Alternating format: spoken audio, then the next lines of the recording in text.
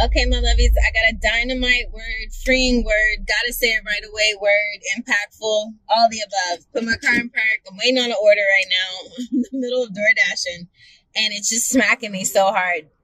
There are so many people confused, guys, and it's so, so, so, so sad within New Age versus Christianity. Within New Age versus, oh my gosh, all these cars are, of course, coming. Look at the devil, yo. He's always so busy trying to block pulling over at somebody's house. Um, there's all these different belief systems floating around the world right now, guys, and it's so so so so so so sad because there are people who believe you cannot look at that three cars just happen to be coming down the road that I'm trying to stop at. Um, you can't be like that, guys, because at the end of the day, we we have to. I'm sorry, I'm so overwhelmed. I'm trying to get this word out. We have to get to a place where even if we can't find a church, look at me yesterday. I was sad about my church. Duh. However, it didn't change that I needed to worship. I could feel it. I needed to talk about what God had told me. I had to do that. So with that being said, guys, we need to know that God is right here. He's omnipresent. He's everywhere. You don't have to use a prophet to get to God. You don't have to wait for your pastor to be at church on Sunday. You don't have to use chakra. You don't have to use yoga. You don't have to use meditation. You don't have to use crystals, sound bars, tarot reading cards, Ouija boards. I don't know. All these angels and entities that are angel, uh, entities that are pretending to be angels and talking to you guys. Like, I'm so sad for the world. I'm so sad for the world. I cry so hard for the world because y'all are lost. Y'all are lost when I get revelation about something, I feel like I was lost too. And then I'm like, whoo, I got found. But no, like you guys are seriously lost. And the ones that aren't trying to get found, you're the saddest ones. You're the ones I pray for the most because you need to understand what you're doing is being used by the enemy who mocks God anyway. All he wants to do is copycat God. He knows he's damned to hell for all eternity. So he wants to collect as many souls to come with him. He's only tricking you guys right now to make you believe something. The devil dingles things around in front of your face and says, Hey, if you do this, you got to serve me. If you do this, you got to do that. And you owe me this and you owe me that. And you got to do this. God doesn't do that.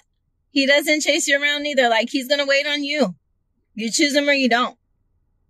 So guys, with all that being said, I need you to release all of these, the signs, the holding the fingers in all different ways and stuff. Like, please research this stuff. You guys don't need to just take my word for it. I wouldn't get on here and lie to you anyway, but you don't need to take my word for it. You can go and find it in scripture. You can go find it in Google. He is your best friend, unfortunately, because that's what it is. Encyclopedias and Britannicas are gone.